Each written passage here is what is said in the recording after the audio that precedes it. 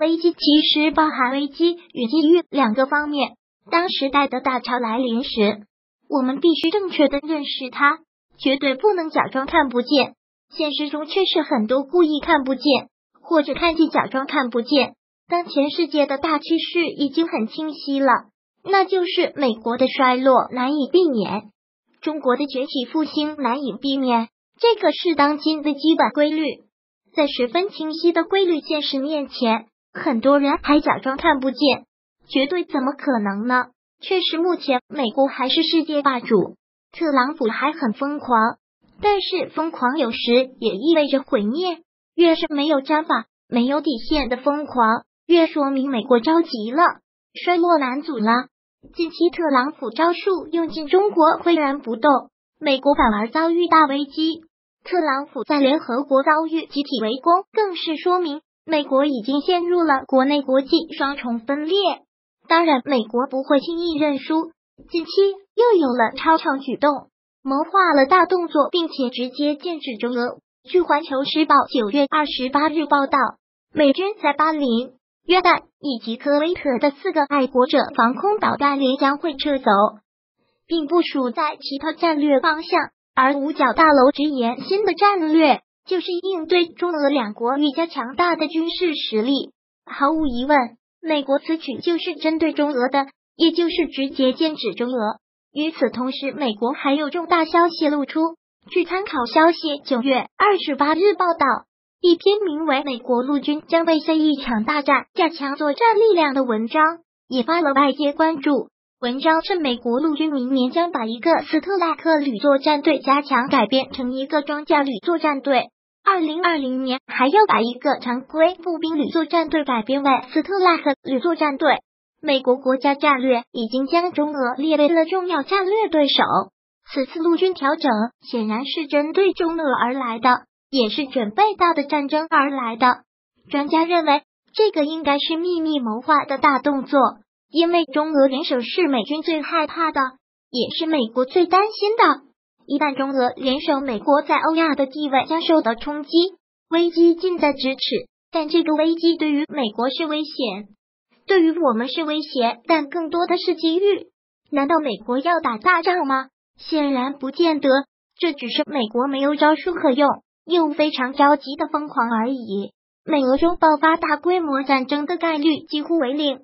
美国想利用这个信号引发军备竞赛，用军费拖垮对方国家经济，说白了就是限制对方国民经济发展，再用烧钱的手段让对方无钱折腾，急逼着对方走穷兵黩武的路子，然后在对方国内矛盾激化使用非武装手段打垮对方，我摸清美国的路数，就要有针对性布局。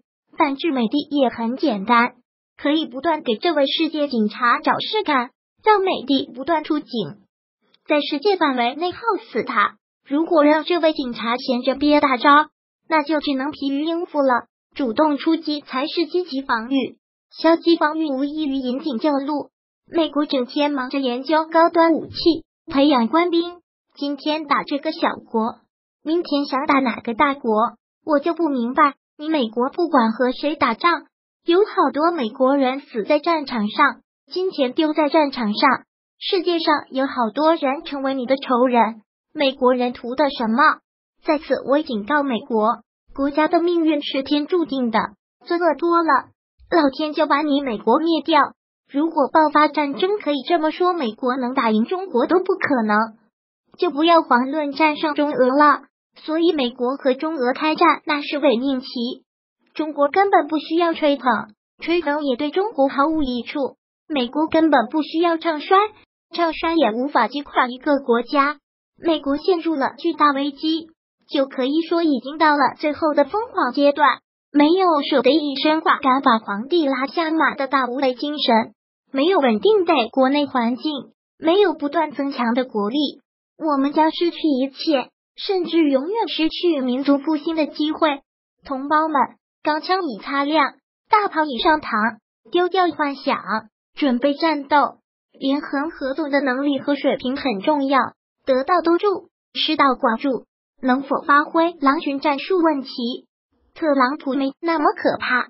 既然狼来了，就只有一斗到底，这就要有愿随风吹浪打。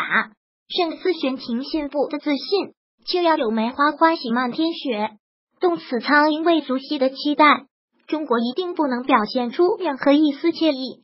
一只狮子与一头老虎在打架，周围有很多柴狗在嚎叫着转圈围观。如果狮子雄壮稳健，怒吼八方，则他们只会围观；如果猴子表现出惬意与退缩，那帮豺狗就很可能一哄而上。机遇属于中国，未来属于中国。只要我们保持战略定力，美国必败。胜利必然属于中国，美国憋大招。特朗普最后疯狂释放重大信号，危机来临，中国一的大机遇。如果喜欢本视频，请分享并订阅本频道，别忘了按赞哦。